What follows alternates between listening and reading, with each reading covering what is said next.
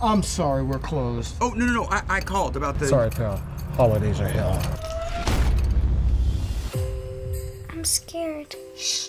Time to close your eyes and go to sleep. Someone's coming tonight.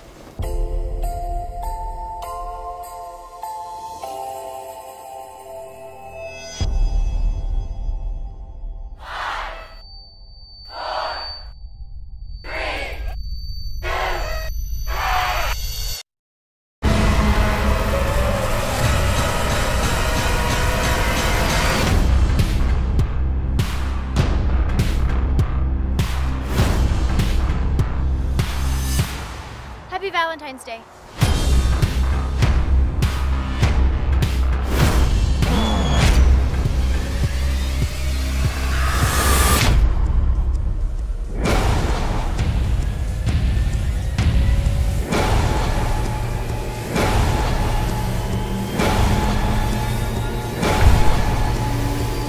It's Christmas Eve. I'm out of time.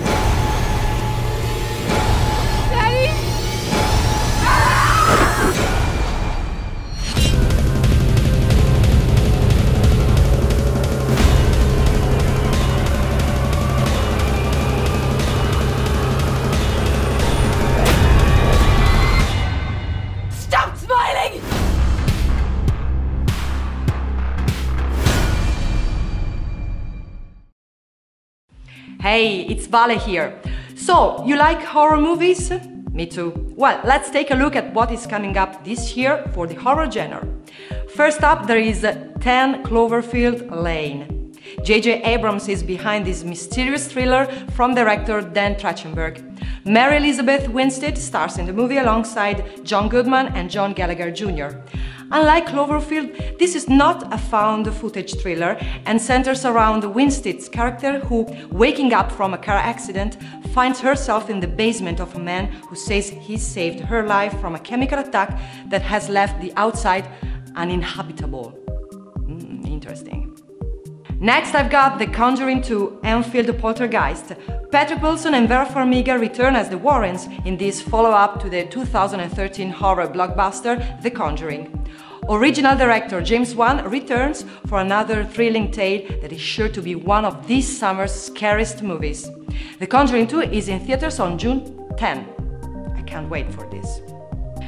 Lastly, there is The Purge 3 election year.